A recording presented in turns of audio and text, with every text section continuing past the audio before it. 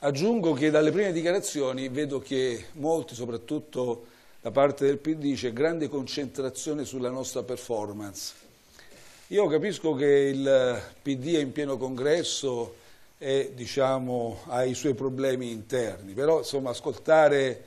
il redivivo Letta che sembra voler dalle dichiarazioni entusiastiche sembra stappare delle bottiglie di champagne sulla performance del PD, francamente se immaginiamo in particolare il Lazio dove c'è un, un, candidato, sono andati dietro un candidato indicato da Letta e da Calenda, dopo aver governato per dieci anni, rimediano e la, e consegnano in particolare, perché erano loro diciamo, i vincenti uscenti, consegnano la regione al centro-destra, insomma francamente avrei poco da festeggiare al canto loro, ecco, insomma, però se si accontentano di questo ben per loro. Per